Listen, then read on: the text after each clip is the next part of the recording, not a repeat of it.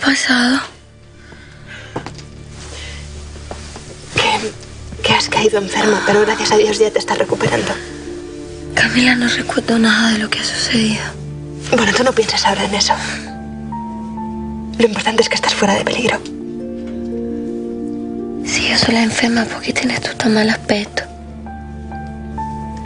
Porque no me he querido separar de tu lado en toda la noche desde que desfalleciste. Camila, lo siento.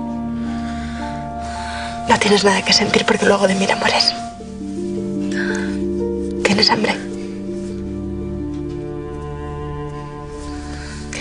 Voy a pedirle a una de las doncellas que te traiga leche hervida con miel.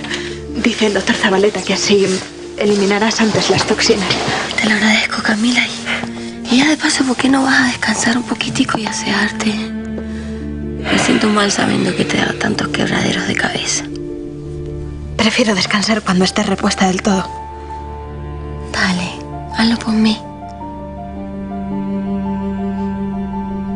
Está bien. Le diré a Beatriz que me releve en tus cuidados. ¿Y Hernando? ¿Hernando?